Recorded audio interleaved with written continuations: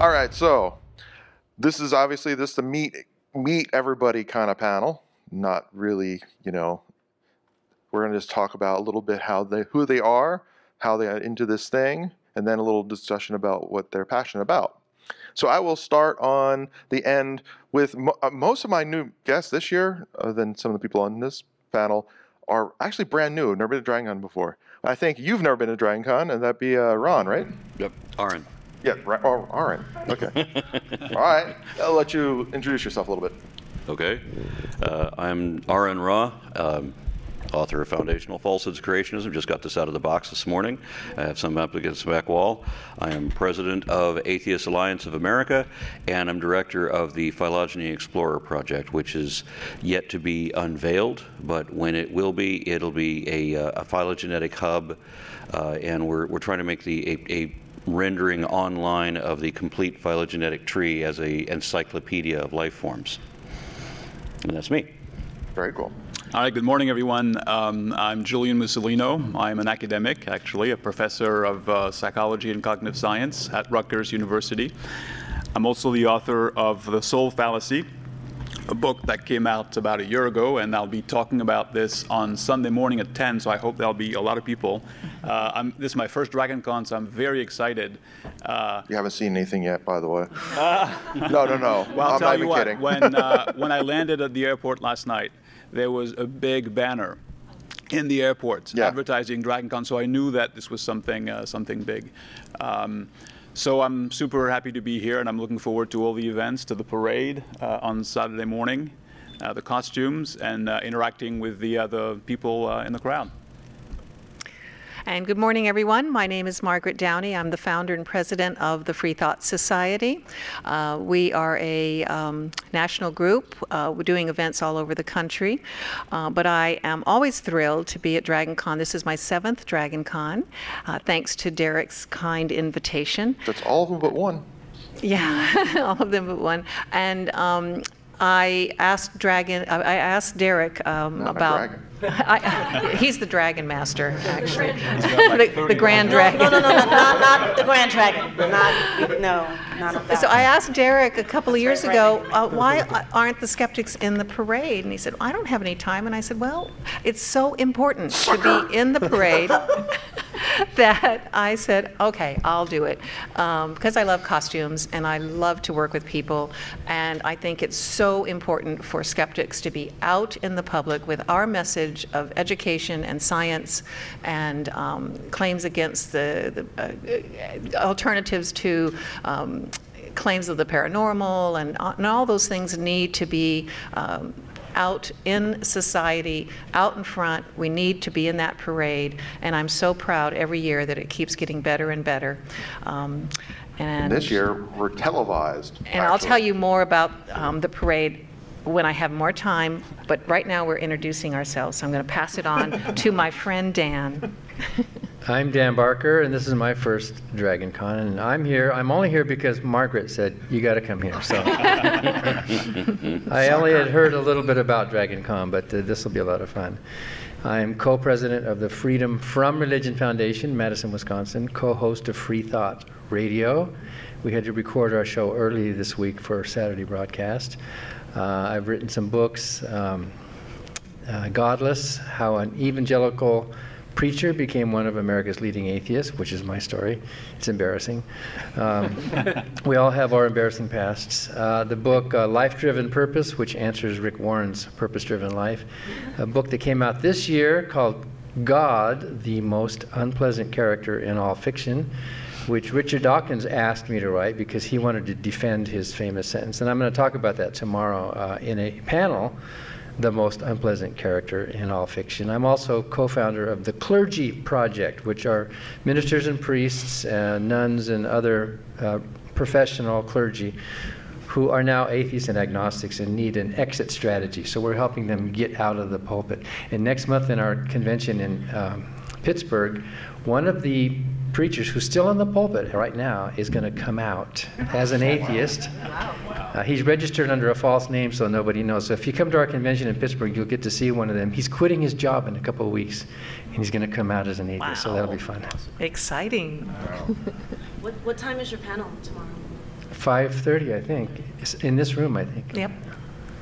Everything for Dragon for Skeptic Track this year is actually in the same hotel, and even all but one event is the same floor because even our big magic show is actually just right out here, right, right across from the new tables we have, which I will tell you about in a moment. New tables? Yeah, you're involved with this, so you Oh. can talk. Um, First, she heard about it. Good morning, everyone. Uh, my name is Leighann Lord. Um, I, I'm, I'm sensing a theme. I'm, I'm too here. I'm also here because Margaret said so. Uh, That's true. Without Margaret, obviously, I don't have a track.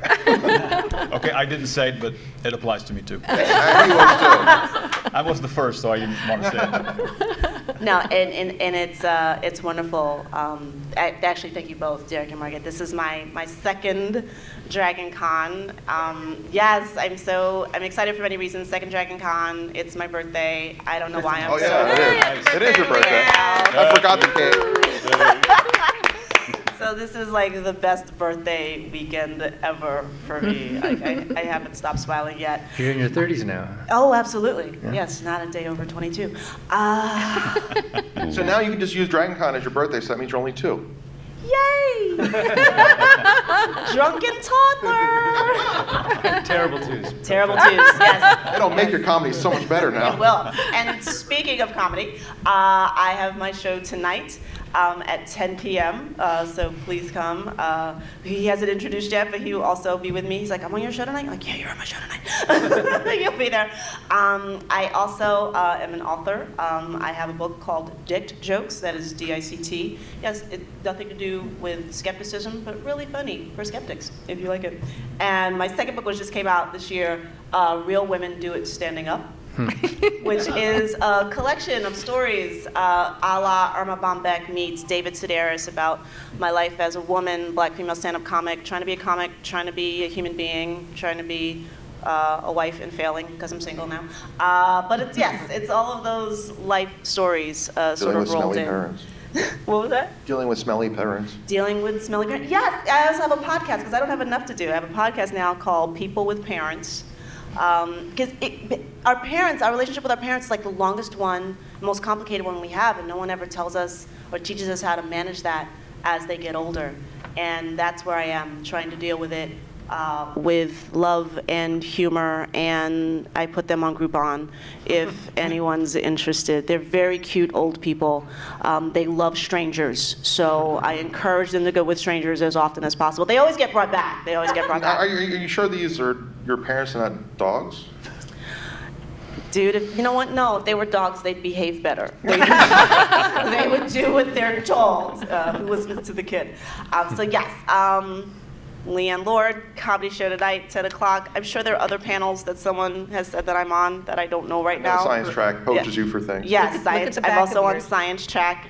Uh, th- I would read the back of my ID, but the, I don't know what happened. This year the type got really small. I know. So I don't know what I'm doing. This is your birthday. It's my birthday, and I can't see. But just happy uh, to be back and on the best track that Dragon Con has. So. All right. Yeah. uh, and hi, my name is Ian Harris. I too am a comedian. Also, my second year at DragonCon, thanks to We have two toddlers. I don't Derek know. and Margaret. We're two together. Uh, so um, yeah, and I'm doing I'm doing a show on Sunday night here at 10 o'clock. So as well as apparently tonight. He But got yeah, but yeah, into. I'm, I'm just a, I'm just just a comedian. Um, but I try to infuse skepticism. You're not and- just a and- comedian. You actually do voice talent too. yeah, I know I do voiceover work, yes, but um, but I don't do the cool voiceover work. On, on my ride over here uh, last night from the airport, I was with the guy who does, who uh, I I know a little. I mean, I met, but I know his name, and he's here because of his voiceover work, and he does all this cool, cool like. Uh, Is he the inner world guy? Is no, he, guy? doing uh, when you know somebody who does like video games and animation. And he's like, "What do you do?" I'm like, "Uh, I, I, I just do like you know promos for coming up next, Real Housewives." Uh, and funny, like animation guys are like, "Oh, promo's awesome." I'm like, "No, it's not," because nobody lines up to hear the guy who goes, "Bravo!" Nobody gives a shit about the guy who says that. So. Um, but yeah, so so that's it. Just uh, I love. I, I've been a skeptic since since the day I could pronounce the word skeptic, I guess. And uh, Wow. and I love. I just uh, love science, and I love uh, skepticism, and I like to infuse it in my comedy, which usually means I have to argue with people after shows every show I go to. So that's why I love being here because I don't get in arguments. I just get people who are interested in what I have to say. And you know, and total side plug. He, we were together at the recent rally. This dude is totally funny. You got. I mean, if you if that's what you're looking for, that that absolutely hilarious infusion of comedy and skepticism. This is your dude right here. You want to see his show? Isn't it online? Oh well, I do have a I do have a, a TV special called um, Your Critical, mic went out. Critical and oh, there you go. I have a TV special called What? Critical and Thinking um, that's on iTunes and Amazon and all those places you can watch it. And then I have a second one coming out that I'm taping in October that will be for Netflix called Extraordinary. So And then we have the late person. This is a late person. No, Without a mic. Introduce yourself. I have no mic and no water. I'm, I'm Oh, the you- proverbial. This is what you get when you're late. I'm, I'm playing the wandering Jew today, so I've been exploring Atlanta and the Uber and the various hotels here. Uh, my name is Rob Penczak. I'm the executive director of Atheist Alliance of America. I co-produce and host a show called Road to Reason: A Skeptic's Guide to the 21st Century. Um, I was a physician turned writer turned secular activist, so my wife did not use very good critical thinking skills in picking a mate. Um, and you know, this is something I'm really glad to be. It's really exciting that they have a skeptics track down here. I also write fantasy, so this is really a perfect blend. Um, you know, I couldn't be more excited about coming to Dragon Con and hopefully getting some of the critical thinking ideas out into the mainstream as well. Thank you so much for that. I'll try not to gasp as we get on. Thank you, Angie. All right, so And I got to throw in one more thing because everybody else was talking about the thing that they're going to do while they're here, and I forgot to mention I'm also going to be giving a presentation on the taxonomy of dragons tomorrow. I think two, two thirty, probably here. how many gra- dragon fossils have they found by now? That's debatable. but are any of them on the uh, on the Ark? That were- They should be. Well, Uh, are on the there- Ken Ham Ark? Are there any New Testament dragons? Because I think you know, for people who are progressive. I was on the Ark, and I did see some dragons that Ken Ham had created specifically for that. Uh, he called them velociraptors, but he also called them dragons. awesome. Velociraptors. Those are one of the things about like a little bit shy of a chicken-sized thing. Or did he use the Jurassic Park movie version? The Jurassic Park movie version, Oh, and, I, and I, I called to their attention. I w- grabbed one of the people that worked there, and I said, "Where's its feathers?" Uh-huh. Yeah, That's right. Almost, almost all. Dra- But let's let, have- let's be fair. The early people from from 5,000 years ago had to get around somehow. Yabba dabba doo. Well, I saw the cartoon. It's plausible. All right. So Good night, everybody. I know it's your birthday, but I mean, Just vodka. so what? We'll start on this end. What is the most pressing pressing issue for skeptics you think is going on now? I mean, a few years ago it was always the Dover trial and things like that. What do you think is the thing now? Um, you know, I guess I would say that the main reason I'm in this is for, you know, a lot of, a lot of socio-political issues and also just things that are going to shape our future. Um, without a, good understanding of science amongst our politicians and our media, things like global warming, which I think is a real threat, um, has been passed over for literally 20 years. So, you know, that, that's one specific issue, but really just getting people to take an open look. Another thing that we're going to be talking about here is street epistemology, where we try to have honest conversations about contentious issues where you don't necessarily agree with the people on the other side. So, you know, I'd say there's, on a broad scale, our biggest issue is not being able to have those honest conversations. We've become so polarized, and people shut down very quickly and don't want to listen to the other side and see if maybe they're wrong about something. And then, you know, for a specific topic, I would say that, you know, critical thinking in science needs to get into our political mainstream. Yeah, and I, I have to add to that what he was talking about. You know, the science being rejected uh, by political officials. I mean, when you have people that say that we don't need to do anything about climate change, I mean, regardless whether you accept global warming or not, even if you just look at it as an environmental issue and how much damage we've been doing to the environment since, you know, what, the 50s, right? I mean, this is, you know, there's cumulative garbage. Who can deny all of this? I mean, some, it takes some accountability. But when people say things like the seas can't be rising because God promised never to flood the world again, that's not a person we need to vote for. That's somebody that needs to be put in a special room and educated. When he said that, that was actually a politician who said that. Yes. Just like the guy with the snowball. There can't be global warming because I found this snowball. There. So this is, these are the people we're electing for their leadership skills. This is a problem. The worst part is, I, I watched Cosmos as a kid, and when the whole, you know, the Al Gore movie came out, I was like, I watched this, like, I saw this episode of Cosmos like 20 years ago. And so we've, know, we've known this for this long, and now people are paying attention, finally. Yeah, and, and now, now our vice presidential uh, candidate, Mike Pence, wants Yeah. to, wants to teach evolution as just a theory. Yeah. Didn't we try this like a while back with the Yeah. Papa Bush? I think his running mate can trump that. I've had a meal with Trump before, I have stories. Uh, next. So for me, a pressing issue is to try to change academic and scientific culture um, in the following way. So, as scientists, we are uh, rewarded to do primary research to find out how the world works, but we're not rewarded to communicate uh, with the public. Some of us do it. We're encouraged to do it by uh, universities, by uh, founding agent, funding agencies, but there, there are no rewards within the system. And I think that's a big problem. Uh, it's a problem because there needs to be many, many, many more scientists, academics, professors out there uh, pushing the cause, explaining science to the public, uh, writing for the public. So that's something that's become very urgent uh, for me because I've been in the ivory tower for all my life essentially, and I've stepped out recently, and now I'm at events like this one, and I'm realizing how few people in my profession, you have the well-known ones, of course, the Richard Dawkins, the Steven Pinkers, but there are far fewer than you would imagine who actually do things like that, again, because they're not rewarded.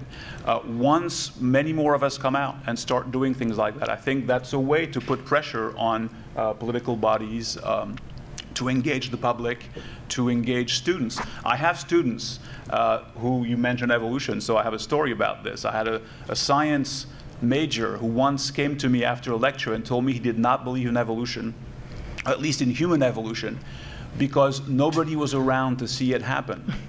And so he explained to me, he said, You see, Professor, science uh, is something that we can recreate in the lab. If nobody was around to see it happen, it didn't happen. So I was tempted to tell him that uh, nobody was around to see his parents have sex, but we could reliably infer from his presence uh, in the room that this somehow must have happened. I mean, just think about this for a second. This guy was graduating from college with a science degree, and that's the kind of argument that he was pushing. Um, so uh, that's, in fact, there's. Um, I'm going to do a plug for the Free Thought Society. There's a little uh, blurb that I wrote. Uh, you can pick it up in the back. Uh, it's called The Curse of the Carl Sagan Effect, uh, that discusses this uh, issue that I think is very pressing. The worst part is we actually have seen evolution in action in experiments and actually in recent times. Of course, it's with things that multiply fast, like insects. Like because of World War II, we actually now have a new mosquito because all the people who went underground during the bombings in London, there's now a mosquito that doesn't breed with the other ones and can only be underground. And it originally was up, up above the subways, but now it only lives down in the subway, and it can only breed with itself. So we've I've seen this stuff happen. So technically, we actually haven't seen it. So we have that to tell them next time. Yeah, right. there are many other things I wish I could have told him, but Yeah, my, my book also has examples of observed instances of Yeah. speciation, as well as beneficial mutations and transitional species and that sort of thing. And um, I guess it's my turn. So I want to encourage people to go to the back of the room and um, pick up complimentary literature from the Free Thought Society. And we do publish some very interesting articles, one of which is Julien's article about the Carl Sagan effect. And it's beautifully, beautifully written. Uh, you'll enjoy it very much. Uh, my main focus in the non theist community has always been about discrimination. And it has always been a passion of mine to end discrimination against the non-theist community, and that involves the skeptics as well. Um, and that's why I took on the project of the parade was to get out there in the public eye and show that we have a sense of humor, show that we have a love of history and science, and, and get the persona changed publicly as much as possible. In the non theist community, we have that same problem with uh, negative stereotyping. So that's been my main focus for the last 30 years is trying to end the negative stereotyping, end the myths about non theism, and present a very good public um, persona, uh, to promote speakers who have great qualities, to promote comedians who have great messages, and, and to get as many people out there in the public to, to change the perception. And I hope you'll join me on Saturday because. There goes the pitch. The pitch. and um, I would really, really appreciate um, people joining in. And she gives you costumes, so if you don't have one,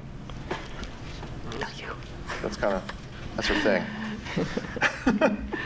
So, So I'm next. next. Okay, so the coffee is just starting to take effect here. Mm. This is my religion. Um, So, what's the most pressing issue? At the Freedom from Religion Foundation, we have seven full-time attorneys and a legal staff. We have a whole second floor for legal. And they're very busy. We have at least a dozen cases in the courts at every le- level, from counties to high schools to um, federal level. I'm suing the chaplain of the U.S. House of Representatives right now because he won't let me give a secular invocation. Um, uh, but So we- petty. So we also do. You know, I kind of thought that the House of Representatives should be representative. Yeah, but you know, you would think. but in any event, uh, and we're doing it not on free speech, but on uh, equal protection. Uh, and uh, but in addition to the lawsuits, we field thousands of complaints from people around the country. Maybe some of you have sent complaints. Last year, more than 4,000 complaints came in.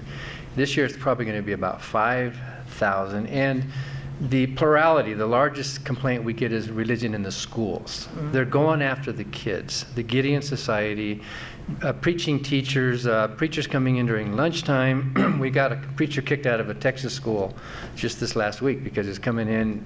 And the school said, fine, you can come in and do that. But, you know, they don't let anybody walk into the schools unless they've got a Bible. These are predators, really, is what they are. Um, uh, creationism in the, in the classroom, uh, preaching teachers, and so on. Ten Commandments monuments on a, on a high school property, on two high school properties, which we've had to sue over, and we won one, and we're going to be winning the next one pretty soon. So it's the schools really, and I think the theme here is that the education of reason, science, skepticism, doubt, open mind is really what's the hope for the future, and the religious right wants to squelch that. They want to get the kids and keep them thinking, you know, that the Bible is the truth. So. Uh, we complained, we sent letters to all the school districts around the Ark Park uh, in northern Kentucky to those four states. Every single school district, we sent a letter saying you cannot use the Ark Park as a field trip for your kids. A lot of the schools are going are trying to do that. They're saying, "Oh, good, let's use this as a historical field trip to explain something because the Bible's a part of our history." They have somebody riding a dinosaur. Yeah.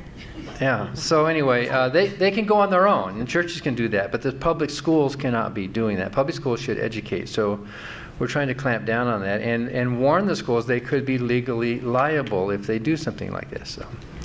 And it, it, it speaks of an endorsement that, you know, it's something that worthwhile to go It visit. does. And that's, But they're just saying, oh, well, that's a part of American history. And, and we're saying, well, you could theoretically, if you were doing a class on uh, kind of wacko Americana movements, and you were going around visiting the snake handlers. If, you could probably pull that out. Okay, now we're going to go to the Ark Park. ah. So, but, uh, but they're presenting it like it's a historical fact, and that's just wrong. So, Comparative wacky teaching. And wacky if, teaching. and if somebody thinks that this is like a little fringy, think about Scientology.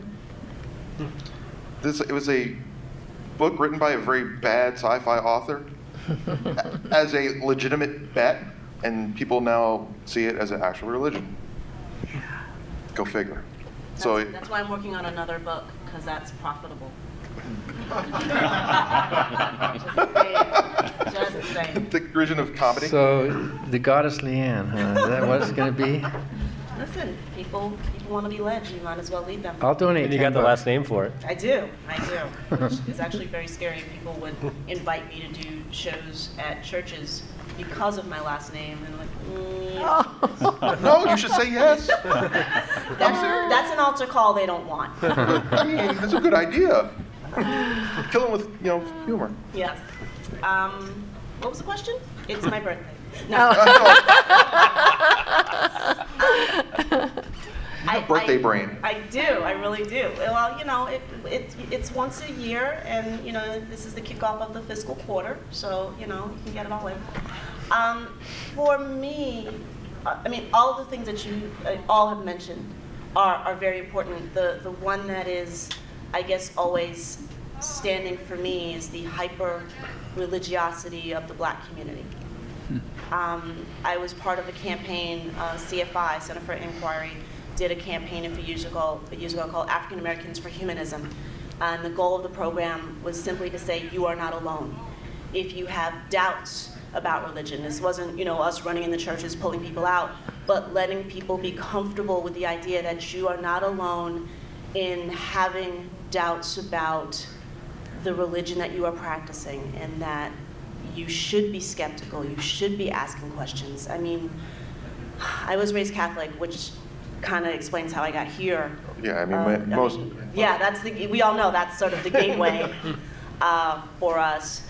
But I'm a, I'm a minority within a minority. You know, with, overwhelmingly, um, mo- most of the black community will be some form of Baptist or Pentecostal or other type of Christianity, uh, and it is very difficult to have those questions. It's difficult to leave. It's difficult to not sort of engage in the magical thinking that you know some sky daddy is going to fix things for us.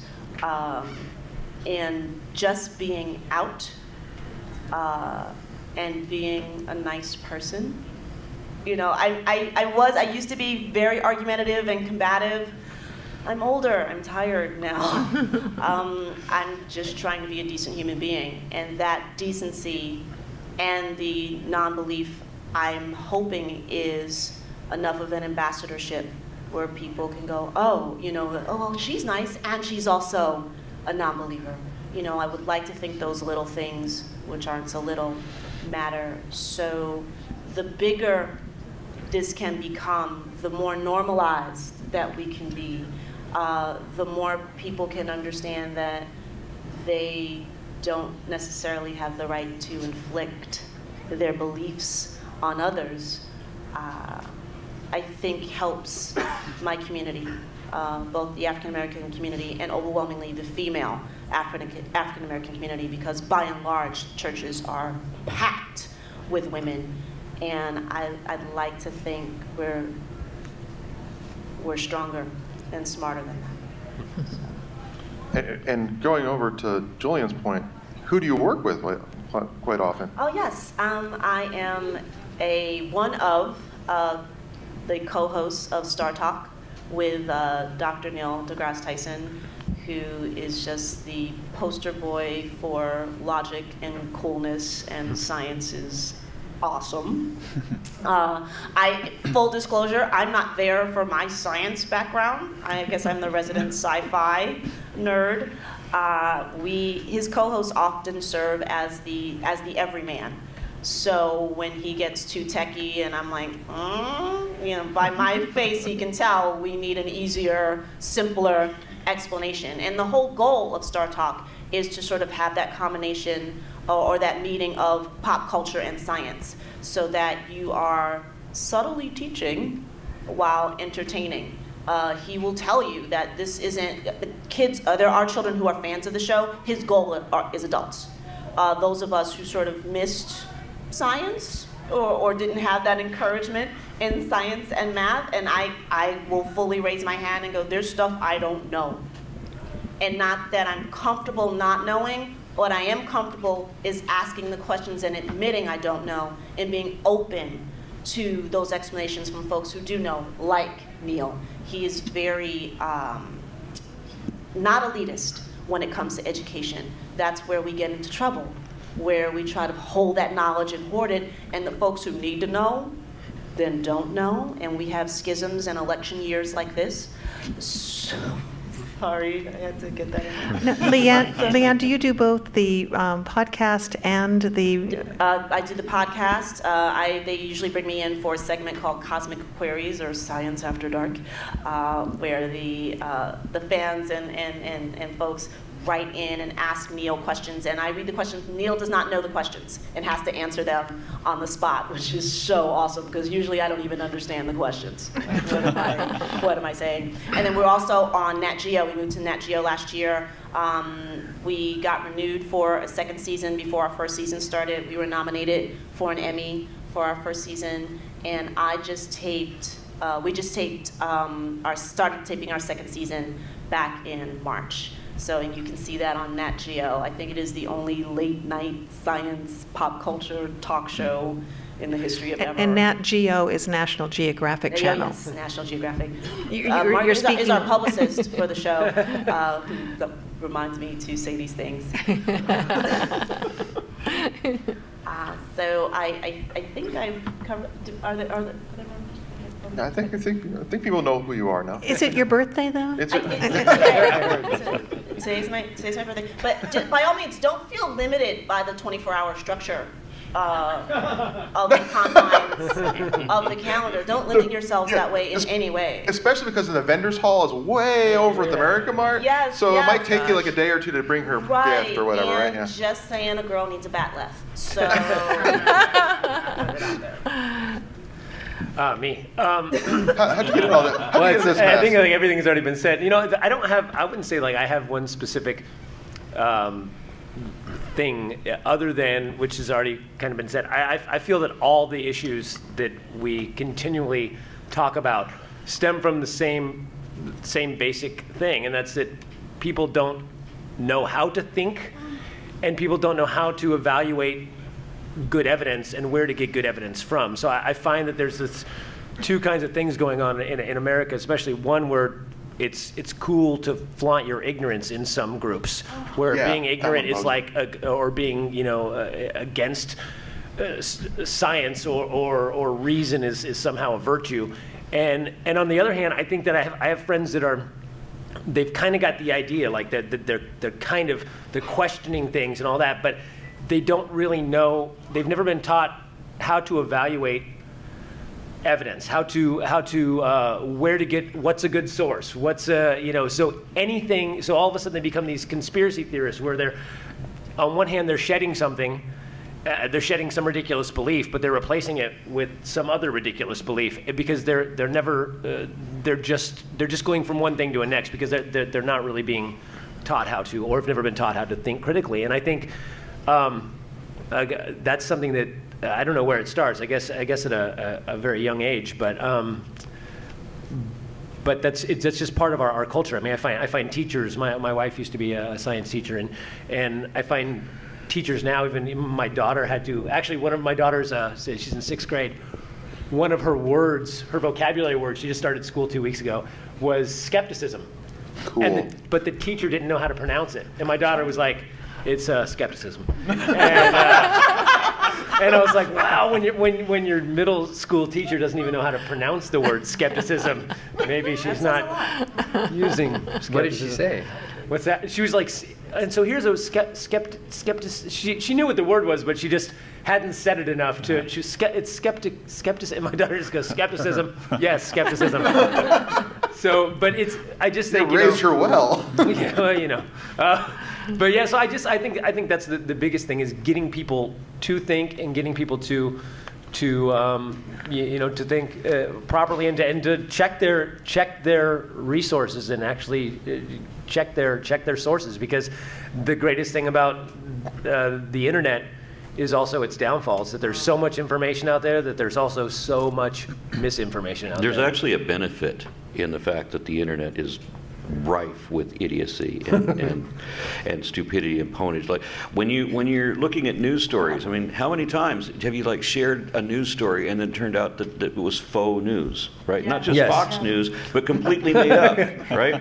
So I mean, there's a lot of there's both. there, there's a lot of news stories that are that not just the Onion, but I mean just people just coming up with just fake stuff that so you have to be skeptical about everything that you read and I think there's an advantage to that because I was raised to believe that if you if it showed up in a newspaper or it was on TV that's true. That's what you that's how you verify whether it's true as it showed up on TV right? Because there's I, because I'm thinking that there's somebody out there vetting this information right?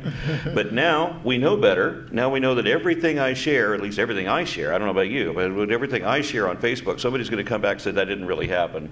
Oh okay fine. So now I have to I have to verify everything before you know I don't really believe this I'm just sharing Right. this don't Well, you know, that there's also this thing nowadays where I always tell people, I go, people say, yeah, I, I read this, uh, I read this study that such and such happened, and I go, no, that's called a meme. Uh, Yeah. Right. because you saw a, a, a word, uh, a couple of words over a picture, that's not a study. But that, but that, it's the same thing as I, I see so, I see so many people that they'll, they'll, they'll post. Actually, there's actually a, a couple of funny Memes, articles memes. articles where the whole article is to prove that you that you only read read the uh, the headline. Right. but I see that over and over and over where people just l- comment on something or or post something on the internet because of the headline, and then you, they didn't actually read the story. And that happens over and over and over, and people take the headline and they walk away going, "Did you hear that this happened?"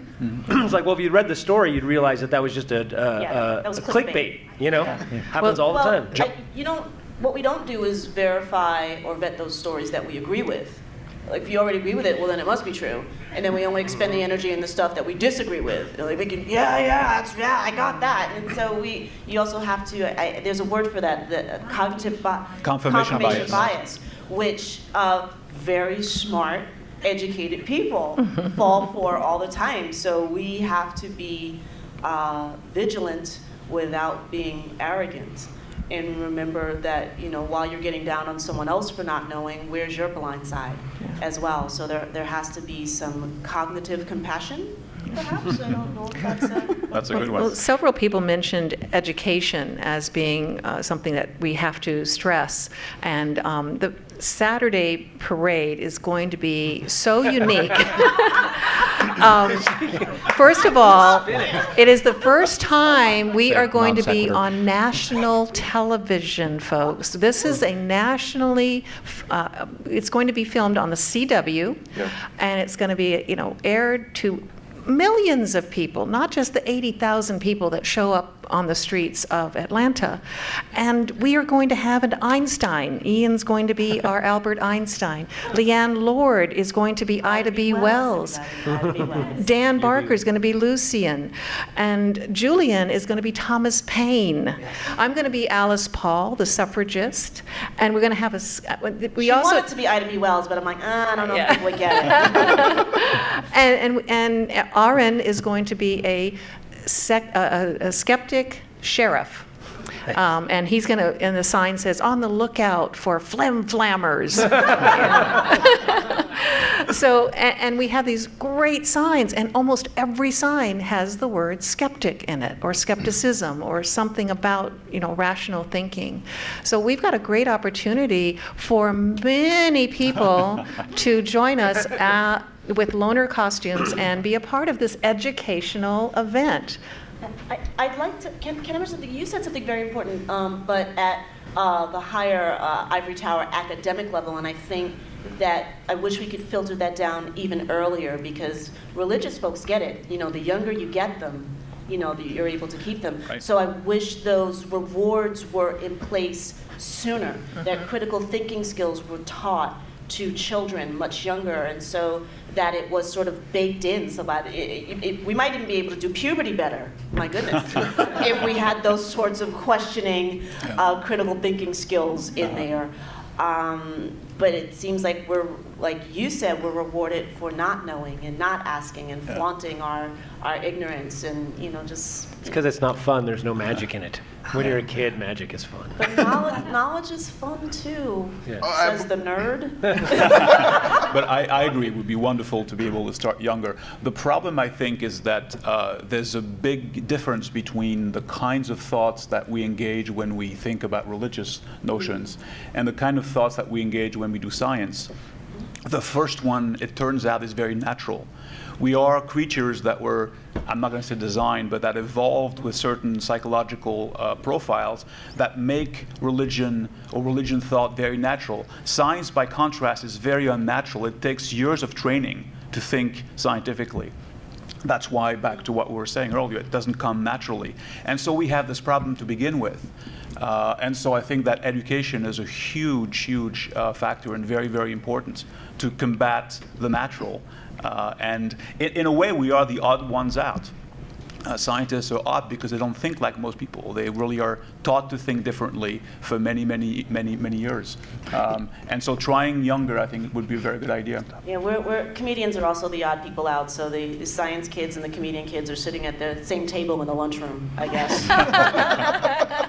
Yeah, I think it's really important that skeptics break out of their own community and get into shifting mainstream culture. You know, a lot of things that we've talked about, um, you know, like Aron goes and fact checks everything, and if we're in the skeptical community, that's what we do, and we feel really embarrassed if we jump on a story because it sort of favored our side and we throw it out there.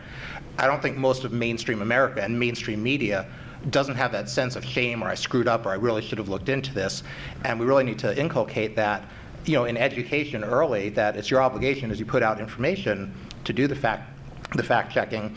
Um, I think with childhood indoctrination is another thing that I'd love to see us, you know, really address head on and keep it in the media or get it in the media. You know, people like you know, Richard Dawkins, Andy Thompson, a lot of people will say that that really is child abuse. And the same way you can't feed lead paint to a kid, if we're really harming a kid's perm, you know, thought process, and if they're not going to develop the same way cognitively when they're 20 because of how they're educated from 2 to 7, there's really a case to be made that we owe them critical thinking so they can reach their full potential. Is there a case for that? Uh, Does anybody, everybody here know what the Flynn effect is? the Flynn effect? Yeah, it's been going on for since they've been studying this, where no matter what, the IQ level of, of people have been getting keeps going up and up and up. And one of the biggest reasons they believe this is happening is because of the fact that more and more people are having to use logic and critical thinking just to survive today. Over the times where when inventions started to happen, the tools got more complex. The things you have to do for work became more complex. So it started to actually the the parts of your brain had to work different, and therefore people's IQ keeps going up. And it's actually a studied thing. So there's a case to be made for the fact that if you dampen that, it's proven that people get smarter if you don't let that happen. If you let people flourish, they actually get a lot smarter, and it's been shown. So. It has indeed, yes. That's a real effect. Uh, and what's interesting is that it's only a subpart. IQ is, measures different things. There's one thing it measures that's called analytical thinking, and that's the thing that keeps getting better. Uh, and it's been linked to uh, more and more complex societies, our use of technology, et cetera, et cetera. Even in the U.S., it's happened. So I think, I think there's, uh, I, I think there's hope. I think there's hope. How can You're we, Italian, aren't you? how can we spread it to politics? You're Italian, aren't you? Is Texas in the U.S.? Uh, No. We got six minutes left. If we have time for like one question, how this works is you walk up to the microphone, don't touch it. It'll actually adjust your height. It's automatic. It's magic. Really? Yes. Woo. Come on, somebody's got to try it. Come on. First one. And we have one minute each then. That's good. Adjust. Okay. Oh. Wow. Yeah, say sweet things. Top 32. And who says there's no sense Hold in on, hold on. wonder? You know what? Let's, Magic. yeah, have someone record this and then tell the story that the mic, you know, something happened, a miracle happened. on this God must have done it. Yeah. Yes, but then which one? True. Okay, so uh, my question is actually brief. Um, so, what do we do about, because we spoke a lot about educating children and making sure that we can combat indoctrination. Um, what is it that we can do at the school level to teach children about the sciences and keep them from being taught creationism rather in the schools, in public schools? Um, because I come from Cleveland, Ohio. Ohio is quite creationist. and me coming from the inner city, there was not one word about evolution. There was not one word about cosmology. There was not one word about the age of the earth, things of that nature. And what is it that we can do in terms of talking to, let's say, school districts about making sure that we can at least introduce science into the classroom from a very early stage, you know, let's say kindergarten all the way up to high school? What is it that we can do about that? Well, um, unfortunately, there's no one here representing the Richard Dawkins Foundation, but they have a program where they're going out to school districts and teaching teachers how to teach evolution. And it's, you know, uh, going into the mostly southern states right now is to make sure that the teachers Really? have the tools that they need to promote evolution. And I have to credit, you know, the Richard Dawkins Foundation for coming up with this idea. Look it up on the internet under his website, and I, that will verify what I'm saying. And when you do, you're going to see the video series that Richard Dawkins Foundation is hosting that my wife and I make to teach middle school biology, which includes unapologetically uh, evolution wherever it is integrated in the national standards, what is required by students. Yeah, I want to say another word about that program. Uh, so that's the TIES program. If you look up by Bertha Vazquez, I think she approached the Dawkins Foundation, um, and that you know that's a, it is a wonderful project. I think we're hoping actually at Atheist Alliance to talk with her a little bit and figure out how to incorporate some of her insights as we start trying to teach critical thinking, street epistemology. The one other thing I say we can do is I would love to see many of our top scientists come out. I don't think anybody has, you know, most mainstream America doesn't realize that, you know, 97% or some huge amount of our scientists are atheists and skeptics and critical thinkers. We really need to change. So if they all came out in mass and said, science is how we know all these things, here, criti- um, you know, global warming is a real threat right now. Um, the fact that we don't have new antibiotics coming online is a problem. You know, how capitalism can become a problem. If scientists came out in mass and made that kind of statement, it might let the educators actually do their job. I know right now, uh, you know, middle school teachers, high school teachers face such political pressure not to do their actual teaching. Next up. All right, my question is specifically for Dan. Um, I was had a question about the anonymity of like making claims for the freedom of religion. Um, backstory: like my daughter's elementary school has a bill- billboard every like around Thanksgiving, Christmas for it says respect for the Creator. And while I'm getting more open with my atheism, I'm still nervous about discrimination um, for her mainly in the school if you know it was to be known that making a claim against it. Yeah, we can do that anonymously. We- As long as we have a complaint, we can say, we have heard from someone in, either in your district or in the, a student or a parent, and keep your name out of it. It c- It can get really dangerous. We're complaining in Indiana, and they want to cut up the plaintiffs and throw them in the river, they said. I mean, they're really angry. So you, you probably want to keep your head down, but, That's so Christian. Christian-like. Yes, it's Well- that, that love and compassion thing I Christian, hear about. Yeah, no, yeah. well, no, it's because of the fish symbol, you know, the fish in the Oh. river, get it? They- So, but, um, Feed the fish? one of our attorneys was actually threatened. So, uh, you can let us know, we have to keep it anonymous. And, uh, it's a very brave family who wants to come out publicly. Uh, some families that we, some families had to actually leave town when it, when it became known. Also, you can go to court on a protective order. You can get, uh, you can go anonymously too, which means the judge knows, but nobody else does. We could also do public ridicule. I mean, if somebody wants to take a picture of this banner, then somebody else might So, blog about it. so let it. us know the facts, because that should come down. If it's, if it's in the school, by the school, they're But- break, they're but breaking the law. You need some evidence, though. You know, you, pictures would be helpful, um, supply the name of the school district, you know, make, make notes of, ho- you know, how, how long it's up. It's only up like a week, a week and a half. So Give dates. The, the more, the more information you can provide to the Freedom from Religion Foundation, the more substantiated the complaint looks. We have a form, an online form. You can click, click, click, click, and it really helps uh, because thousands of them come in. And we have one guy who spends his whole day just handling intake to know which attorney to get it to and which. And many of them are so similar. We have template letters ready to go. We can use to get a letter out that day. We can get it sent and mailed and get it and emailed and get to the media in the area too. So. And death threats are real. When I was um, in a lawsuit to- to get the Ten Commandments plaque down from the Chester County Courthouse, I had death threats every day, and they were scary, you know. And did, they, did you remind them that one of those commandments actually? So, did, I'm just wondering. It says something about that somewhere. in there. I yeah, I mean one of yeah. I think we got 30 seconds, but you know what? One person left, so you get that last question, then your last one. I'll No pressure. That'd be good.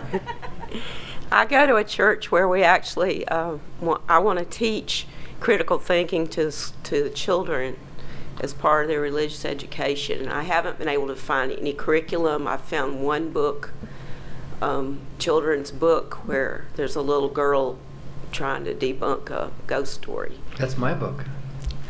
Well, thank you. Scooby Doo works pretty well. Scooby-Doo is fantastic. Old Scooby Doo, not the movies. How old are the children that you're trying to teach? Well, they're all all ages. Starting- Um, I would probably be working with the um, kids from the fifth through the, you know, high school.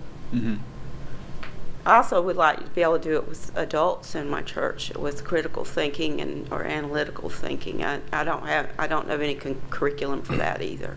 I can. I'm happy to suggest some. So, Skeptic Magazine, for example, uh, has a junior skeptic section at the end, which is very good. Uh, they're also um, I- they're on my mind because I just wrote a blurb for them. But uh, Guy Harrison has. Um, you can we can talk after this if you'd like, but has a couple of books on just that. Uh, the, his latest one is called Good Thinking. It's written for the general public. Uh, children, high schoolers could probably use it too. It's very, very good. Are there It- pictures? I'm writing this. uh, I, no, I don't think there are pictures. No. A- Actually, Uh, on that note, almost all the books that J. Guy Harrison has done actually kind of speak to the things that you would be worried about because yeah. He writes books that are kind of aimed at the general population. Yep. Uh, Actually, most of his books do. yeah, so tho- those would be good. Um, but if you, I mean, we can talk if you'd like. If you contact me, I can send you all, all kinds. There are articles that are written for the general public. There, I'd like to be included in that conversation. Yeah, I think- absolutely. I think there's a project that needs to be done. Yeah, and, and So- I, Okay. I also have a few ideas for events that teach critical thinking skills. You already took mine. A parade. The parade. I think you got that ready. Um, okay, on the on the note where somebody mentioned that you know if you want to talk a little bit afterwards, we're doing something a little bit different this year.